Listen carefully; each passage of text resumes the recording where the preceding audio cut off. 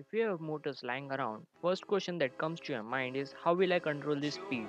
So in this video, I will show you how easy it is to control the speed. So let's get started.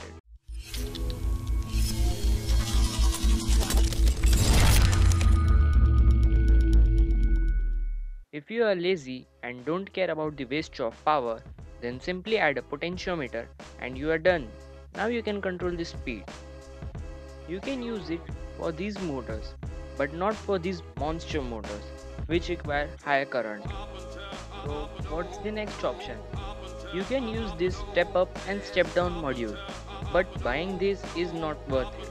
So is there an efficient way? Yes, we can use PWM signal with or without the MOSFET by simply changing the duty cycle.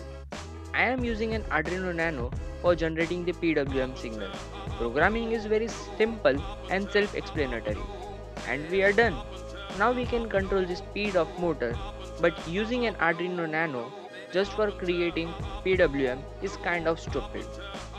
So we will replace the Arduino Nano with father of all the IC that is IC555NE. You can find the schematic on the Google by simply typing IC555PWM and you can use this circuit use any higher potentiometer above 10k and any n channel MOSFET. Okay, now we can control speed of any motor. Hope you like this video. Don't forget to like, share and subscribe and comment if you have any questions down. I will reply to each and every one.